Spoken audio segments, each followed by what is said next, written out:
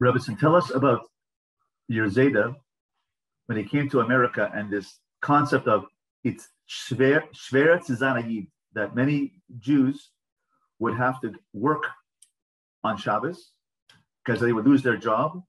But your grandfather, your Zeide, refused, he kept, he, he refused to, to give in to such a thing. Tell us about the idea that other Yidden gave in to its Shver Zanayid and, and how your grandfather approached Yiddishkeit that it's not Shver Zanayid.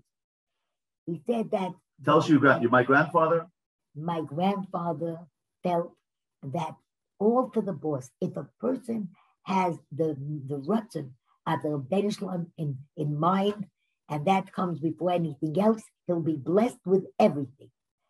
He laughed when he said, people said, if they work on, know, they're not going to manage if they don't work on Shabbos.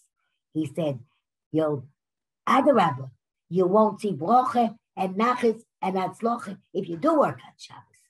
The Benishlam, whatever he asks you, he watches over you and blesses you.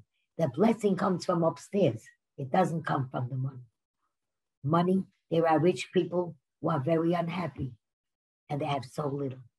He says you have to count your blessed, you have to count your riches in the things that you can buy for money.